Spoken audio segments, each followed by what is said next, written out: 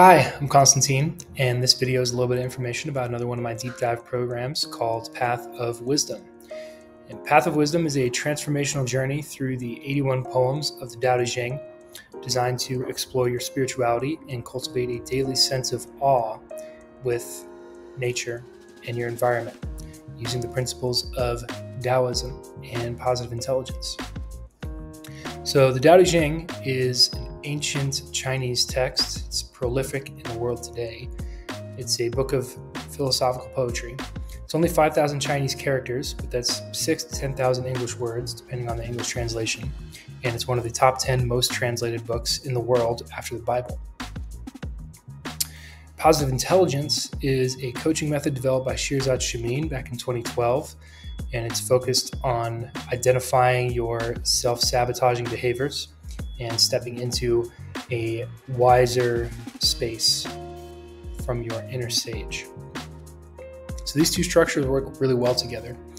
While the Tao Te Ching talks about this enigmatic character, the master or the sage, the positive intelligence model talks about tapping into your inner sage. So the program itself is 12 weeks long and it's built around the 81 poems of the Tao Te Ching, so 81 days and a little bit of change.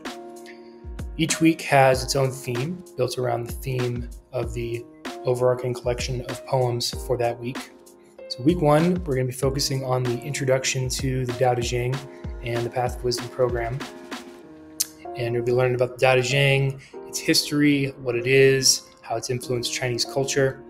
And week two, we are going to dive a little bit more into positive intelligence, identifying your self sabotaging behaviors and moving into a wiser sage mind and activating that inner sage along with the poems of the Tao Te Ching. Week three, we're going to look at the power of non action, Wu Wei, and getting into a flow state. And week four, we'll be doing poems 22 through 28, looking at uh, self reflection and self knowledge. Now that you've learned more about yourself, how can you integrate that a little more deeply? Week five is poems 29 through 35, focusing on the themes of yin and yang and what those actually are and how they function in the world. The next week is cultivating virtue with weeks 36 through 42 and what virtue actually means in the context of Tao Te Ching as a way of being, not as moral rectitude. The next week is focused on cultivating compassion for yourself and others in poems 43 through 49. And we're going to be doing a little bit of challenging work looking at the people who have maybe caused you the most harm and done the most damage in your life and cultivating a sense of compassion and forgiveness for them. And then in week eight, we'll be working on letting some of that go. We'll be looking at attachment who, what, um, how are you attached to person, people, things, ideas, and how do they serve you and how do they harm you? What's the relationship like, like with that?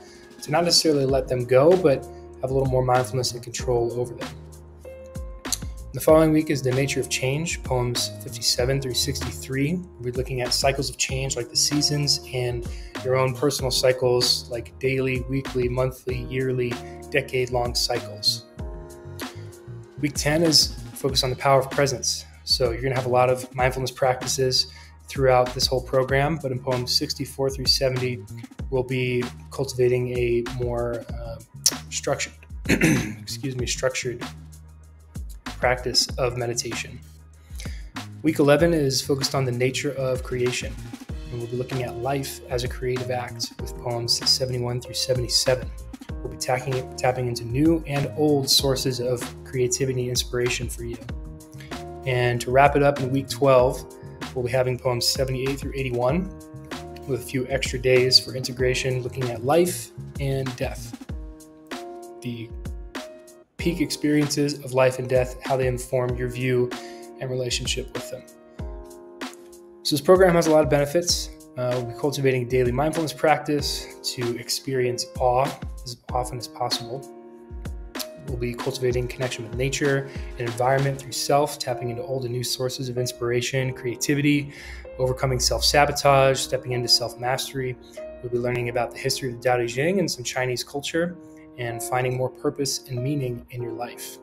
This is a 12 week deep dive program built around the 81 poems of Tao Te Ching, incorporating concepts from positive intelligence And if Path of Wisdom sounds like something that you're looking for, something that you're needing in your life, um, you can book a call. I encourage you to go to my website and book a free consultation so that you and I can chat about what this program can look like for you. I look forward to hearing from you.